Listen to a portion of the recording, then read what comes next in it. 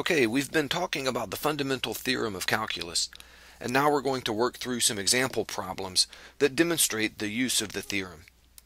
And here's our first one. y is equal to the square root of x, a is 1 and b is 4, and we're told to find the area under y, that is under the graph of y, from a to b. So let's mark off the graph here, mark some points on our graph.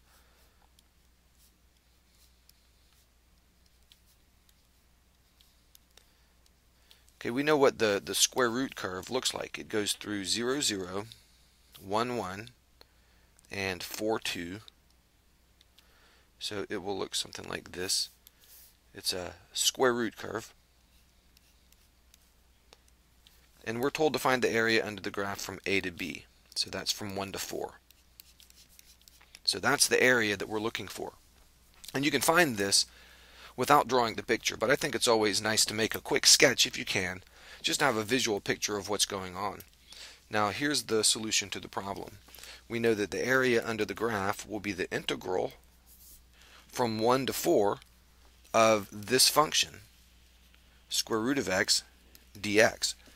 So we need to find the antiderivative of that function. And that's easy to do. Square root of x is x to the 1 half, so we just add 1 to the exponent. That makes it x to the 3 halves. And divide by the new exponent. So it would be x to the 3 halves divided by 3 halves. And dividing by 3 halves is the same as multiplying by 2 thirds. So when we integrate this, we get 2 thirds x to the 3 halves. And we evaluate that from 1 to 4. And so what that means is we take the 4 and plug it in there for x minus this expression with the 1 plugged in there for x. So that's going to look like this.